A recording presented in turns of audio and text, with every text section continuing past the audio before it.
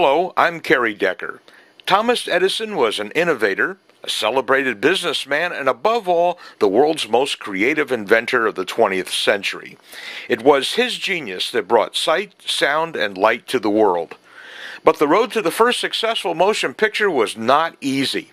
Eadweard Muybridge, 1830 to 1904, was an accomplished English photographer, known primarily for his early use of multiple cameras to capture motion, and his zoopraxiscope, a device for projecting motion pictures that predated the celluloid film strip that is still used today.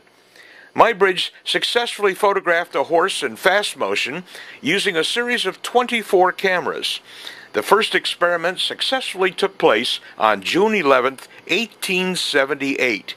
He used a series of 12 stereoscopic cameras, 21 inches apart, to cover the 20 feet taken by one horse stride, taking pictures at one thousandth of a second.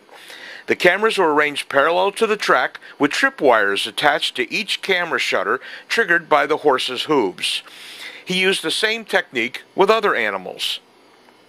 However, these were all a series of still photos viewed in sequence, and Edison wanted something better to represent motion. He wanted to do for pictures what he'd done for sound. Thus, he went back to the wax cylinder for inspiration. He drew up a series of sketches as he envisioned a new version of a phonograph.